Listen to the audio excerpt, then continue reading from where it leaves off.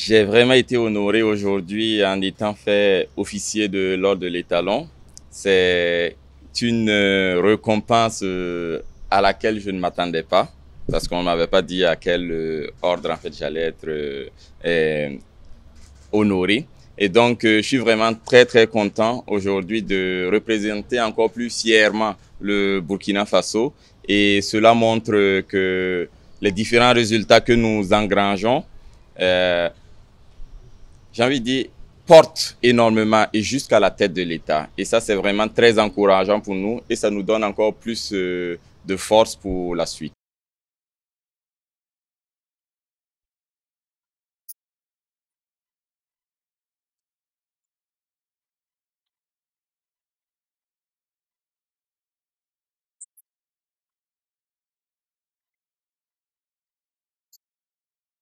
Le président a été vraiment très content. Il faut savoir que le président aime le triple saut, il aime le sport en général. Il nous a prodigué forcément des conseils. Il nous a fait prendre la mesure, encore plus, la mesure de l'importance de, des résultats que nous engrangeons au niveau du front et au niveau tout simplement du public burkinabé qui attend justement des, nouvelles et des résultats pareils pour pouvoir tenir parce que comme vous savez, nous sommes dans des situations difficiles et ces résultats-là viennent donner, j'ai envie de dire, un, un, peu de lumière et un peu de gaieté dans le cœur et cette positivité est importante pour poursuivre le combat.